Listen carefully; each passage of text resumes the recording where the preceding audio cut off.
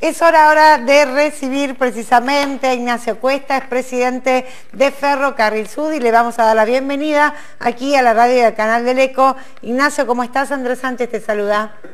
¿Qué tal? Muy, muy, buenas tardes. Buenas tardes, Ignacio. Bueno, a ver, queriendo conocer un poquito cuáles son las actividades que viene llevando adelante el club, tenemos entendido que como muchas otras campañas, ustedes nuevamente eh, están hoy sumados a, una nueva iniciativa. Contanos de qué se trata. Sí, eh, estamos eh, en este durante el fin de semana pasado, tanto el viernes como el sábado, nos sumamos a una campaña que en realidad organizó el municipio de Tandil de concientización para las prevenciones del COVID. Em, la campaña consistía en eh, caminar un poco el barrio, a nosotros nos tocó lógicamente el barrio de la estación y parte de Villa donde tenemos el estadio de fútbol. Y la idea era eh, salir un poco a la calle y a la gente que estaba circulando darle folletería con información de, de cuáles son, digamos, las medidas preventivas que en muchos casos ya se conocen, pero siempre es bueno reforzarlas. Y también se hacía entrega de barbijos eh, quirúrgicos y de tela para, de, una, de alguna manera, también darle fuerza a la campaña. Ajá, bien. ¿Y, ¿Y, quiénes forman parte de precisamente, bueno, estas, estas salidas? Eh, ¿cómo, ¿Cómo ha determinado el club quiénes, quiénes van en algunos sectores y a otros? Nosotros internamente nos organizamos con eh, algunos miembros de comisión directiva, algunos profesores e incluso eh, lo que hicimos fue también que nos acompañen algunos de los deportistas del club. Eh, en el caso particular del fin de semana estuvieron participando chicos de boxeo en la zona del, Estadio Damos la Taza, ahí donde tenemos la cancha de fútbol, y en la sede social nos estuvieron acompañando eh, chicos y chicas de gimnasia artística, junto con los profes, y es una manera también a veces de, llegar a la gente de, distintas edades, eh, de distintas maneras, ¿no? Lógicamente. no es lo mismo por ahí que que te concientice alguien de tu propia edad, por ahí si pasaban chicos, eh, es mejor también que los chicos eh, también se sumen a, la campaña. Y muchas veces nos han demostrado que ellos eh, se comportan mejor que, los grandes en ese, sentido, tienen mucha conciencia. En líneas generales es buena la recepción, la gente está informada, ¿qué, qué es lo que advierten, Ignacio? Sí, la recepción es buena, eh, la gente está informada lógicamente y nosotros decimos que eh, digamos, siempre es bueno sumar algo más, eh, lógicamente, por ahí, si bien ya llevamos muchos días de cuarentena, muchos días de, mucha información al respecto, siempre algo lo que se pueda hacer suma, nosotros el municipio nos invitó a al igual, que a nosotros, a distintas instituciones, e incluso otros clubes de distintos barrios para, para colaborar y lógicamente dijimos que sí de inmediato, ni bien recibimos el llamado, porque nos parece que un poco también la función de los clubes es esa, eh, la función social que tienen los clubes de, de, ayudar a, en todo lo que se pueda. Y bueno, desde nuestro lugar pusimos ahí un granito de arena y como te digo, eh, en este momento quizás parece una campaña de concientización eh, no tan, digamos, útil porque allá hay mucha información, pero es,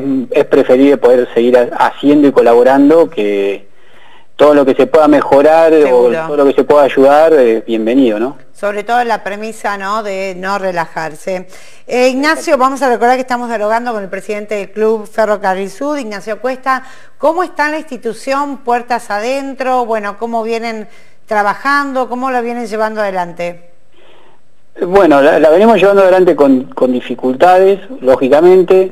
Por suerte el club tiene las disciplinas en su gran mayoría funcionando. Eh, semanalmente se va planificando todo porque, bueno, dependemos un poco de, cómo evoluciona la situación de, la ciudad, el tema de los semáforos, el tema de, qué está permitido y qué no, e incluso nos está sucediendo ahora en algunas disciplinas que hemos tenido que cerrar por precaución, por casos de o contagios o, posibles contagios que, se esperan resultados o entonces, bueno, ahí aplicamos el protocolo que se estableció, por eso tenemos identificados los chicos que van a cada, a cada grupo y entonces si, si se detecta algún caso, tanto de un deportista o un profesor, no solo positivos, sino a veces que eh, dependen de un resultado que va a estar en unos días, porque tuvieron contacto directo con alguna persona que tuvo. Claro. Eh, preventivamente se cierra la actividad hasta tanto tener la certeza, ¿no? Nos pasó eh, la semana pasada con algunos grupos de fútbol, ahora también nos pasó con boxeo, que esta semana va a estar momentáneamente eh, sin actividad. Y bueno y así nos vamos adaptando y, vamos y vamos pudiendo llevar adelante la situación eh, de la manera que está digamos establecida. Bien. Han mantenido em, su compromiso con, la institución los socios digo teniendo en cuenta que también muchas familias han tenido que achicar sus presupuestos y probablemente bueno hay cuotas societarias que se hayan visto ¿no? Este, cortadas, básicamente. ¿Cómo está en este aspecto la entidad?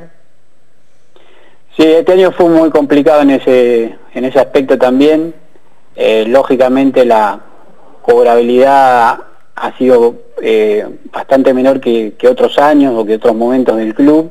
También hemos hecho como un consenso donde nosotros intentamos ayudar también de nuestra parte y mientras no hay actividad no se cobra la cuota deportiva simplemente se, se, cobra la cuota social, que es bastante inferior en, proporción respecto de, lo que paga una familia por, para que su hijo, hija o, sus hijos vayan a, hacer actividad. Así que últimamente estamos, ya te digo, semana a semana, adaptándonos, siendo flexibles. La, colaboración de, de, la familia del club, de los deportistas, siempre está, y eso lo agradecemos mucho, lo mismo que los socios y los miembros de comisión directiva. Y bueno, y buscamos alternativas para poder también, digamos, eh, poder eh, reemplazar los ingresos que no vienen de, esa manera con, con otros ingresos. Eh, así que en, ese plan estuvimos ya hace desde marzo funcionando de esa manera. Bien, y, que, a ver, contanos un poquito con qué cuestiones se la, se la han rebuscado, porque cada uno también aplicó el, ingenio, ¿no?, a, este tema.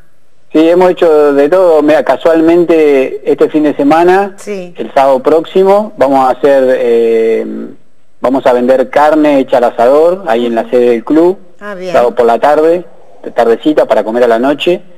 Y bueno, esa es una de las maneras que hemos, que hemos encontrado para poder, digamos, generar algún ingreso. Eh, eso está bueno porque colaboran, obviamente, gente del club que eh, desinteresadamente nos, da una mano, los mismos chicos del club ayudan a la venta y los profes. Y bueno, Así que este sábado los invitamos a que, ah, bueno. que quiera pueda, pueda comprar un, pedazo de carne. ¿Y hay que hacer un pedido previo, Nacho? Hay que hacer un pedido previo, eh, sí, por, por, tomamos el, digamos las reservas por, por WhatsApp, si entran a, a las redes del club ahí está toda la información, ah, el teléfono y demás.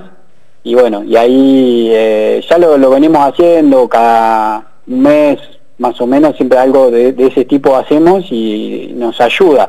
Nos ayuda para, para un poco en lo económico y también para mantenernos juntos y, ir haciendo cosas por el club. Seguro, seguro. Bueno, muy bien, entonces invitamos eh, a todos los que quieran comer una, una rica carne. Allá también vos la, la podés pedir a punto o eso o no, digamos que... Sí, tenemos, tenemos ah, un, asador experto, lo que le pidas te lo, te lo va a sacar bien. Ahí está.